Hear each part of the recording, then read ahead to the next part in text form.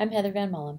The title of this presentation is See It, Believe It, Do It, Using Imagery as a Mental Performance Enhancement Tool. Over the next few minutes, we'll spend some time together talking about mental performance enhancement and specifically using imagery as a strategy to help you be successful both on the court and off. We'll do so using information sharing through a variety of slides. Additionally, at the end of the presentation, I'll share with you an example of an imagery script written by a student who integrated both video and audio in the hopes that maybe this might be an example you could consider as you decide how to structure your own script.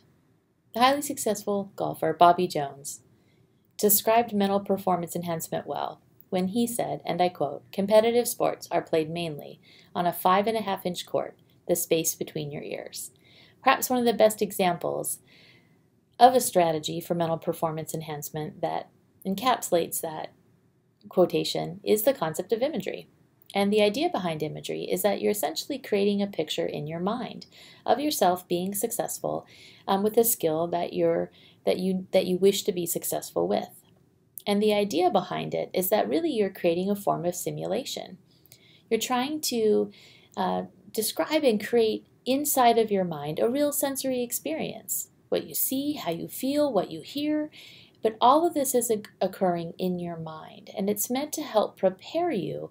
It's another form of practice, and it's meant to complement um, the actual physical practice that you're also engaged in. And the idea behind it really is that seeing is believing for so many people. I mean, have you ever said this quote? I'll believe that when I see it. Well, for so many people, there's a lot of power in be able in being able to create that image in your mind. And so really we're we're using our memory, our mind, quote unquote, is taking a picture. Um, and the more vivid that picture is, the more effective imagery can be for a strategy. And the real key is we need to use the right kind of image at the right time. And there's all different ways that athletes might choose to use imagery. I mean, for example, and you can see from this list, they might choose to use it to learn new skills, or perhaps they want to correct a mistake. Um, uh, and many athletes might choose to use it to aid in recovering from an injury. Again, if you can see yourself performing well, we're training our mind to help our body to be successful when we actually choose to physically engage in the activity. So, strong keys to imagery. One, we need to be able to control and change the images we see and we use. And as I mentioned previously, the more vivid they are, the more impactful they are. So images need to be polysensory. We are talking about incorporating as many senses as possible to create the most vivid image possible to increase the effectiveness of this particular technique. So, how does it feel? How does it smell? How might it taste? What does it sound like? What does it look like? And even so, how does it move or how do you feel while you're moving as you're engaged in this activity? So, here's your first task getting started with this concept. I want you to think of your favorite sporting implement. Perhaps it's a ball, it could be a glove, a specific pair of shoes. You get the idea. What's that one thing you feel best about? So as you after you've identified your favorite implement, now I'm going to ask you to tap into your feelings about this particular implement what is it about this particular thing that makes it your favorite? So if you've been an athlete for many years, right, you've probably played with lots of different basketballs or volleyballs or worn lots of different pairs of socks. But what is it about this specific pair of socks or pair of shoes or ball that makes it your favorite? And then I want you to ask yourself, what is your relationship to it? Why does this particular thing mean so much to you? After you take some time to answer that question or answer those series of questions, now I want you to take some time to describe that particular implement using as many senses as possible.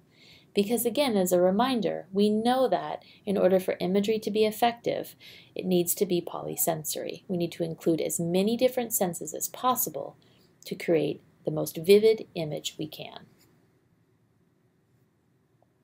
Here's another quote from a good golfer, Jack Nicklaus, the Golden Bear. He said, Before every shot, I go to the movies inside my head. Here is what I see First, I see the ball where I want it to finish, nice and white and sitting up high on the bright green grass. Then I see the ball going there, its path and trajectory, and even its behavior on landing. The next scene shows me making the kind of swing that will turn the previous image into reality. These home movies are key to my concentration and to my positive approach to every shot. So, as you can see from his description there of how he uses imagery when he thinks about making golf shots, he's incorporated multiple senses, including the color of the ball, the color of the grass, this visualization of how the ball moves in space, and then again how it behaves when it interacts with other things like the ground. He is creating a movie, he is creating a rich, vivid picture of a golf shot. Some really important things to remember as you start to practice this skill. It's important, critically important to be positive. If we're always thinking about negative images or images we want to avoid, unfortunately what tends to happen is we start to imagine that, which actually hurts our performance rather than helps us to perform well. So keep your images positive as you start to think of images that help you to be successful. Those images need to show you being successful in the motions that you're trying to imagine. All right, here's your first practice. I want you to think about putting yourself in a familiar place where you usually perform your sport. There's nobody there but you. Imagine that you're there. Imagine that you're standing in the middle of the place and you're doing a 360. You're looking all around you.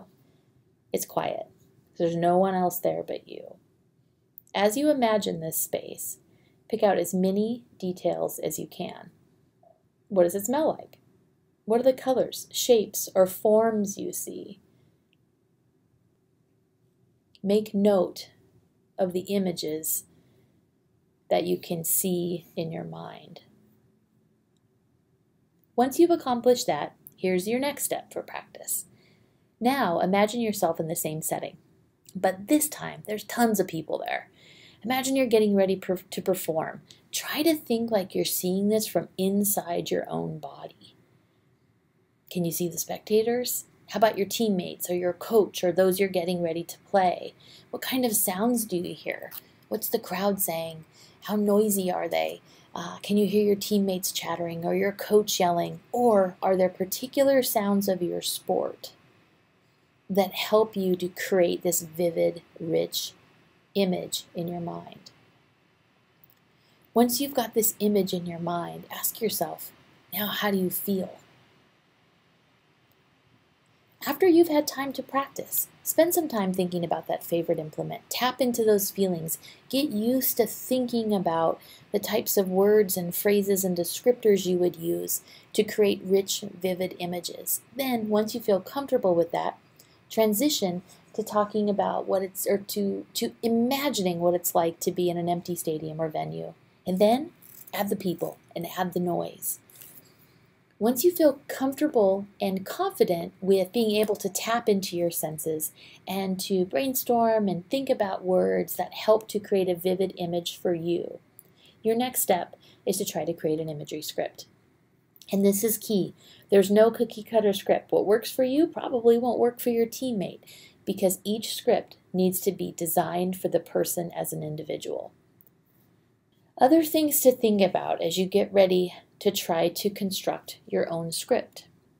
Usually, we're more relaxed at the end of a practice and tend to be more receptive to imagery at that time.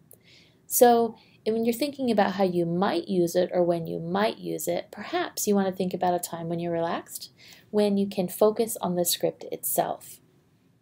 Another way to think about this is to use this as you prepare for a competition. Again, getting your mind into a situation or scenario where you can make your movie or you can create your image of yourself having success before you get ready to physically perform it. So what I'd like to show you for the next few minutes is an example of an imagery script. Steps across the grassy field. Feel that familiar weight of your athletics bag over one shoulder and the weight of your pole on the other. The heat from the sun warms your ever-ready muscles. You smell the familiar smells of spring, the heat of the black track, grasses. The mixture of smells from a large number of people around you. You see the familiar sights of other athletes warming up or socializing. You hear the impact of running feet on the track. All of the familiar sounds that come with the track. You set your equipment down and start your warm-up routine. It all feels so natural and enjoyable. The increased rate of your heart, the slight sweat on your brow, and the heat you feel increasing in your toe muscles. You feel ready. You are energized. You get your steps for the pole vault, they are right on from yesterday. But it's the routine that matters. You are prepared, you are ready. You stay relaxed by doing some flips onto the mats. As you make impact, you feel the warmth from the sun. You smell the musty smell from those rainy days being soaked up in the mats. You sink in. You feel so light and primed. You are ready to vault. The announcer calls your name. This is it. You have cleared every height up to this one. It is the state record. Things could not feel any better. Every ball before this has felt effortless. Every time you hit the mats, the crowd before. One more time. This is it. You step on the track and take a deep breath. You can smell the sweat that the tape on your pole has soaked up. You feel that familiar grip, not too rough, not too smooth, just right. The weight of the pole feels like a feather as you raise it up. You take the first step back to prepare for your approach. The sound of the crowd is gone. You don't know if they're cheering or if they are silently waiting for your attempt. You don't care.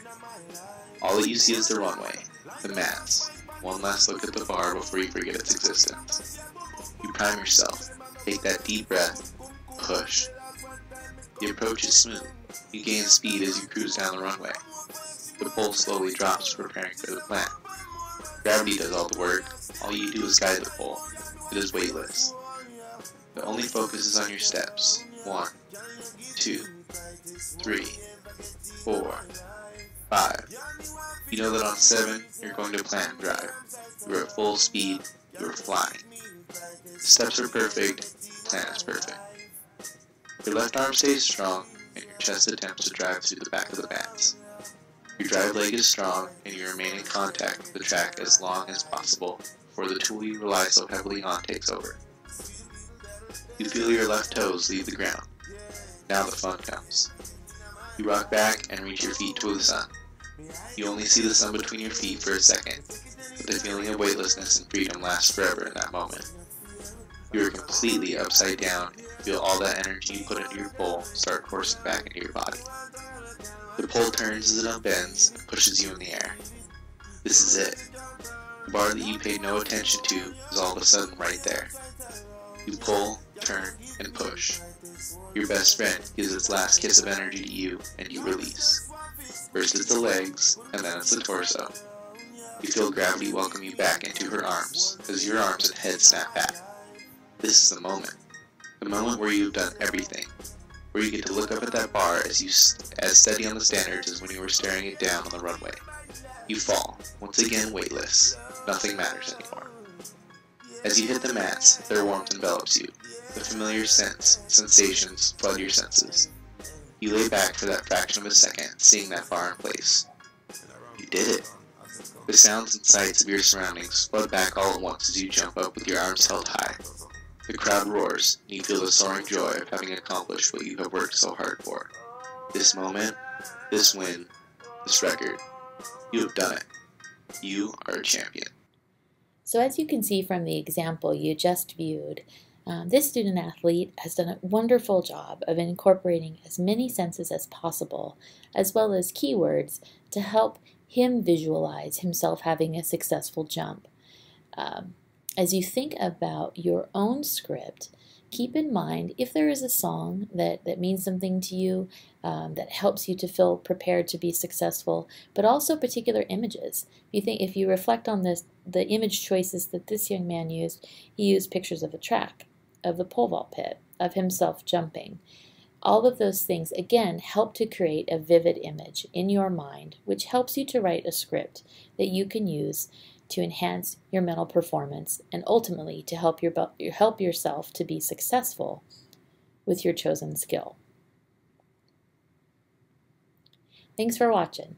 If you have more questions or if you'd like to talk about imagery further, please feel free to email me. Again, my name is Heather Van Mullem and I can be reached at hi.vanmullem at lcsc.edu. See it, believe it, do it. Good luck using imagery as a mental performance enhancement tool.